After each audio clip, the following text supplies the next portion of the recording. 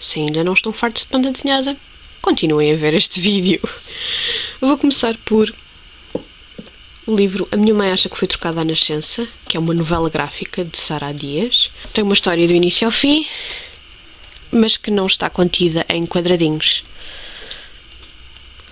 Mas, vá, digamos que está próximo da banda desenhada.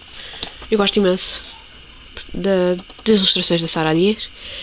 É portuguesa, por isso, se tiverem a oportunidade de ver a página dela, vale a pena. Já que estamos numa de portugueses, Ascar, o general da D. Lady Flores, é uma artista que está cá em Portugal, sediada em Portugal. Os desenhos dela são simplesmente fantásticos, cheios de, de detalhe e ela foi buscar imensa inspiração uh, aos desenhos persas e pumba, caiu o cartão. Eu gosto muito, muito, muito dos desenhos que ela fez e, portanto, se tiver a oportunidade também de procurar e de apoiar autores portugueses, vale a pena. Eu já falei imensas vezes desta banda desenhada, fica aqui mais uma vez. This One Summer, da Gillian Tamaki e Mariko Tamaki, talvez das art da arte mais bonita que eu já vi em banda desenhada, excepto talvez o Blanket, que é um dos meus outros preferidos. Vou mostrar este livro sem versegar. Wet Moon uh, é o primeiro livro, Feeble Wanderings, do Ross Campbell.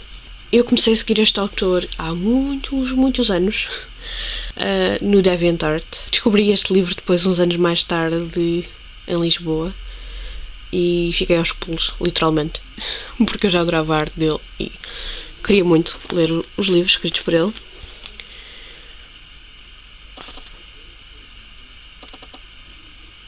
É muito fixe. Uh, os livros dele abordam imensos temas uh, alternativos e a arte para mim é simplesmente divinal. Eu li em versão digital o resto desta banda desenhada, hum, que é para maiores de 16 anos. Eu acho a arte simplesmente fantástica. E gostava de ter os outros volumes também. Que é a história de, de, destes vídeos. Ah, eu tenho um, mas gostava de ter os outros. Provavelmente um que vocês já ouviram falar, do Walking Dead. Eu só tenho o volume 1. Fiquei interessada, mas não ao ponto de ler.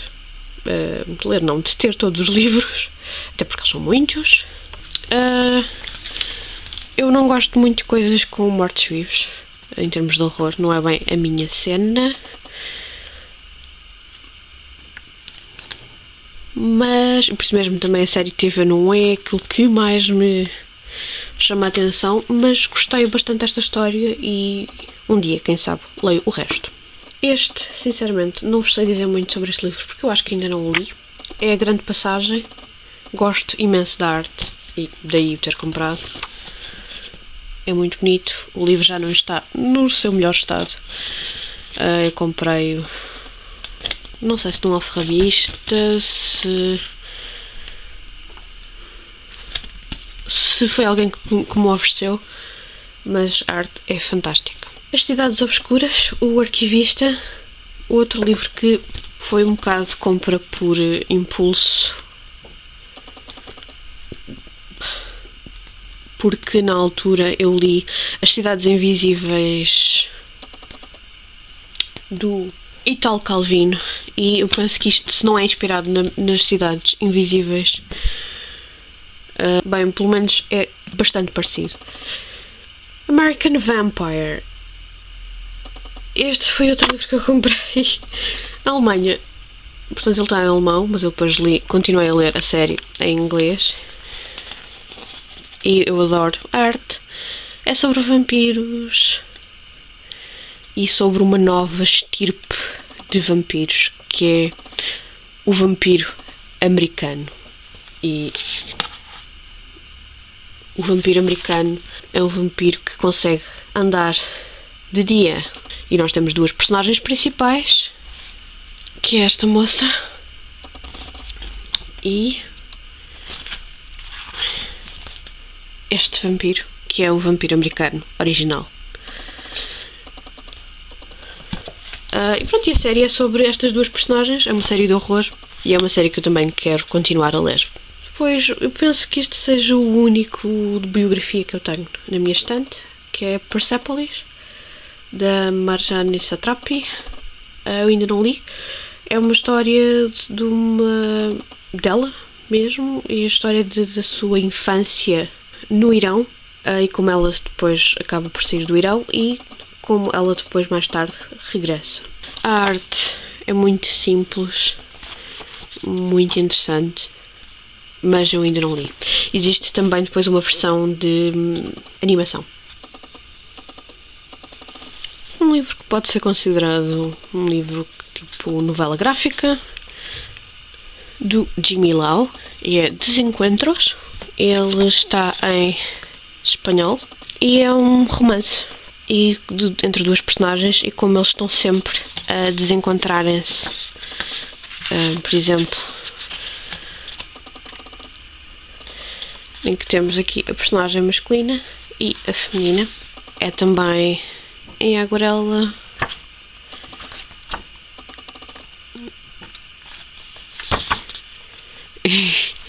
Eles acabam por se encontrar, mas a vida é feita de desencontros e por isso mesmo.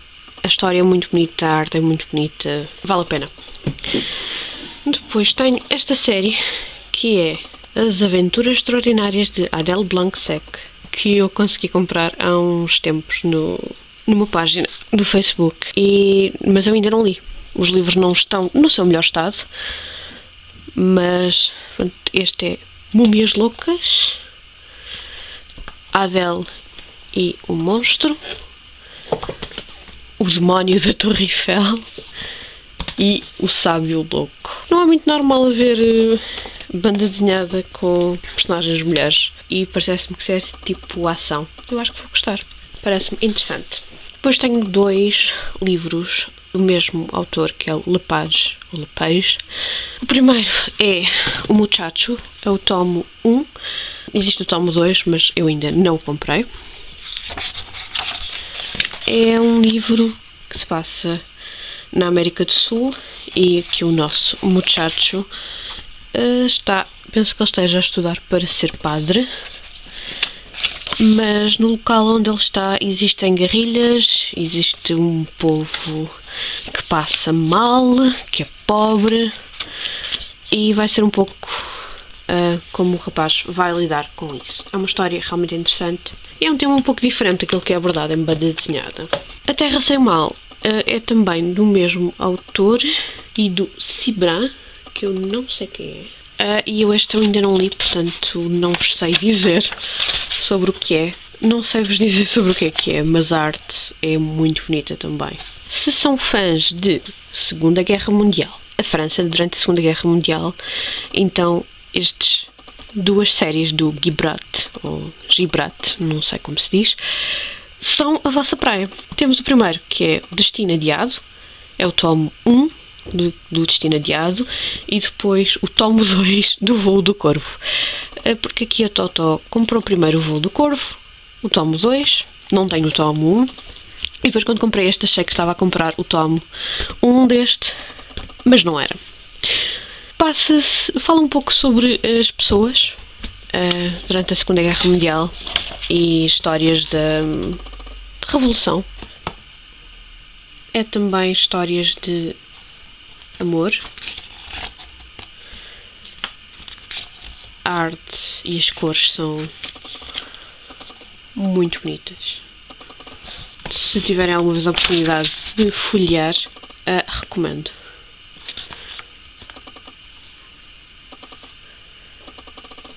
Mais um dos meus autores preferidos de banda desenhada, que é o Enki Bilal.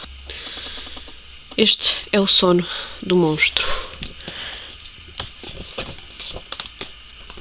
Os livros do os livros e as histórias do Enki Bilal costumam ser muito de ficção científica, ah, muito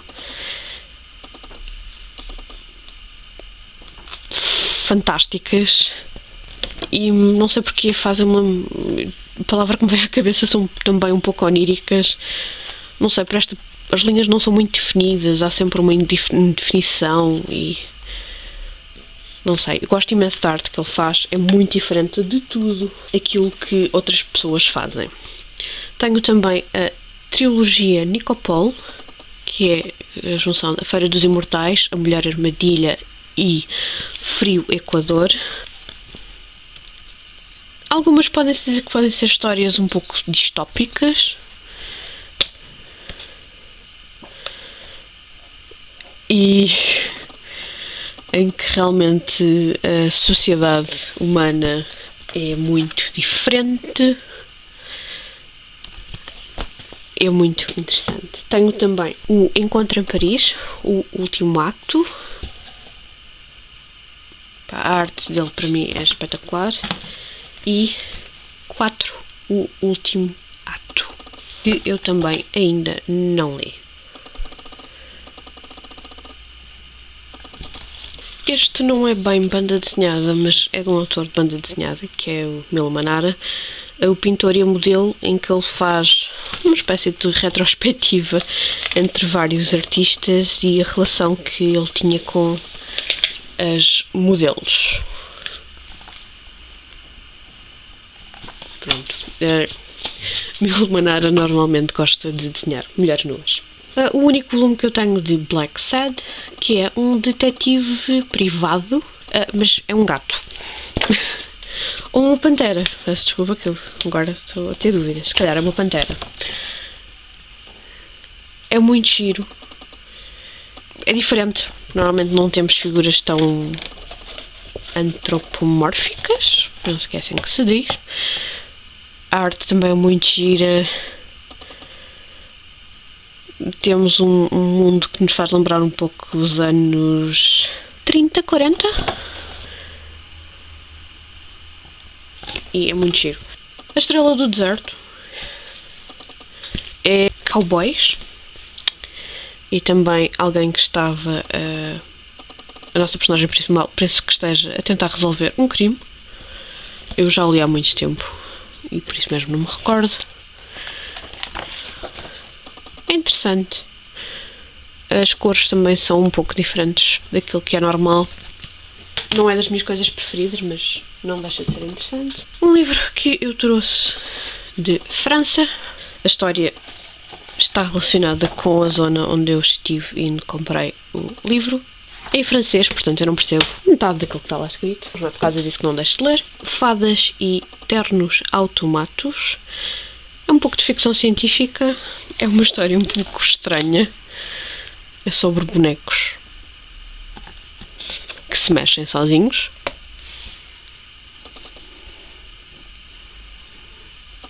Mas pronto, não deixa de ser interessante. Silêncio, a iniciação e Silêncio, a vingança.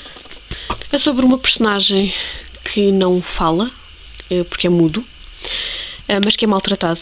E até o momento em que, uh, que acontece aqui no livro, em que ele descobre, um, em que ele se revolta, basicamente. Isso é o primeiro livro, e no segundo livro é a vingança perante as pessoas que o maltrataram.